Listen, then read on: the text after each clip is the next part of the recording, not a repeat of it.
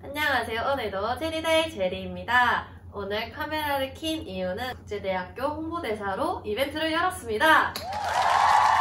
이벤트 기간은 오늘부터 17일 금요일까지고 참여 대상은 2020학년도 수시 등록자와 정시 지원자 여러분들입니다. 이 영상 댓글에 퀴즈 답과 함께 본인 이름, 출신 고등학교를 남겨주시면 됩니다. 아, 그리고 구독과 좋아요 눌러주는 센스. 당첨자 발표는 21일 예정이니 많은 참여 부탁드립니다. 그럼 여러분 국제대학교에서 만나요. 안녕!